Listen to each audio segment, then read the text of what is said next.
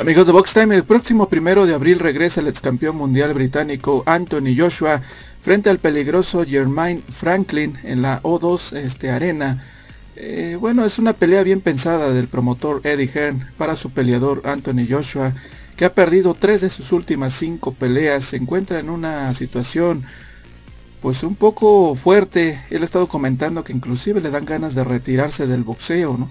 A pesar de que es un peleador joven como que ya no tiene ánimos de seguir peleando con su nuevo entrenador, eh, Derrick James, que ha cambiado de entrenador constantemente, acaba de correr a Robert García y se fue con este entrenador, que es un buen entrenador de hecho, pero la cosa no es de entrenadores. Se ha dicho que Anthony Joshua está pasando por un momento mental pues muy frágil, es un hombre extremadamente fuerte, pero que el día de la pelea se hace pequeñito y empieza a comportarse de una manera distinta, eh, una forma en la que el peleador que es fuerte empieza a boxear.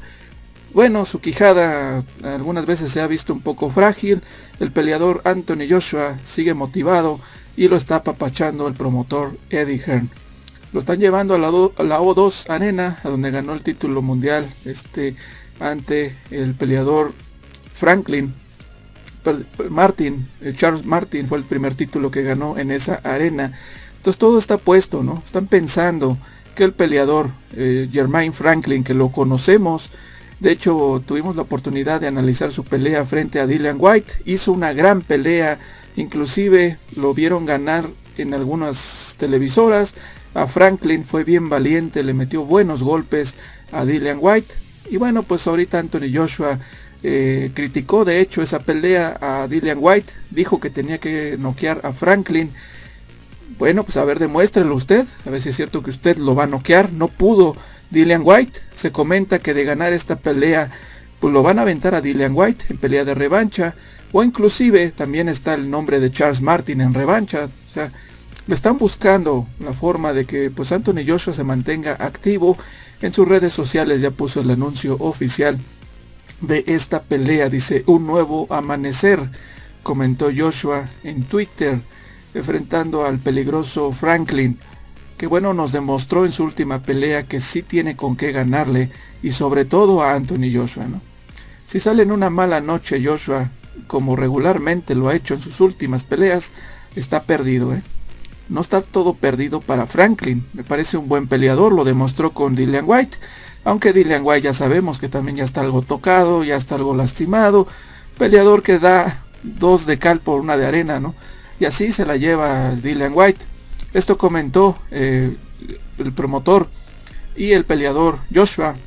Dice, sí, potencialmente. Tienes a Dillian White, tienes a Deontay Wilder y verás qué pasa con Tyson Fury. El plan para Anthony Joshua es verlo convertirse nuevamente en campeón mundial de peso pesado y tenemos que tratar de guiarlo hacia ese camino. La gente habla de la pelea con Francis Ganau y cosas así. Si no hay oportunidad de pelear por un título, tal vez también lo veamos, pero ahora se trata de actividad, se trata de divertirse, está animado y listo para funcionar y está listo para encender el O2 el primero de abril. Pues se siente confiado el promotor de que ahora sí Anthony Joshua va a ganar claramente esta pelea va a tomar confianza para buscar el título mundial en el futuro. Como acabo de comentarlo ahorita, quién sabe. Con Joshua no se sabe, ¿no?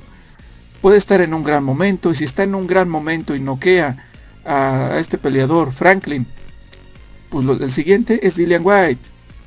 Como se había planteado en, el pasado. No hay de otra, no tiene muchas opciones. No le iban a aventar a, aventar a uno de los primeros 10 clasificados a Joshua, ¿eh? De ninguna manera. Ese es el clasificado número 29. Lo bueno es que enfrentó a Dillian White para conocerlo, para ver, porque lo, hasta el momento era un poco desconocido, Jermaine Franklin, ¿no?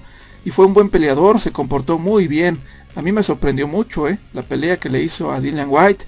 Muchos lo vieron ganar. Dillian White sacó la victoria por decisión mayoritaria.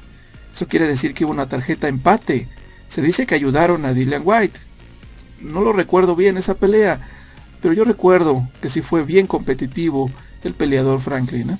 No es tan malo, o sea, y hablando de Joshua, pues cualquier cosa puede pasar con Joshua. Lo conocemos, cómo se comporta, ¿no? Es un hombre que, bueno, que la confianza no está ahí. Es una pelea de práctica, supuestamente. Así le pasó con Andy. Sí, el Andy también era práctica, ¿no? El Andy también era un bulto.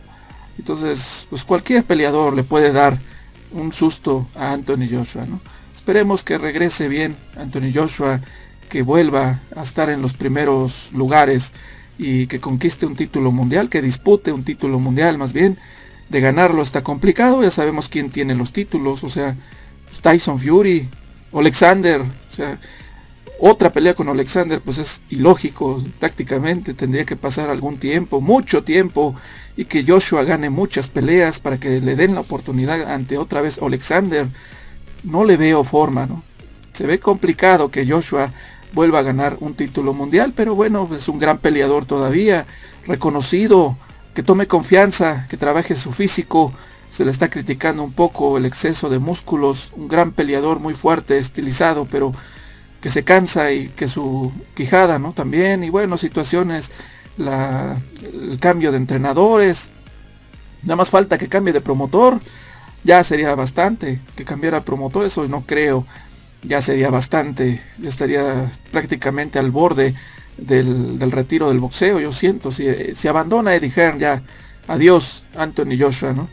Es un buen peleador, vamos a ver una gran pelea, una pelea importante a pesar de que se está comentando de que es de trámite. Franklin tiene una gran oportunidad frente a Joshua.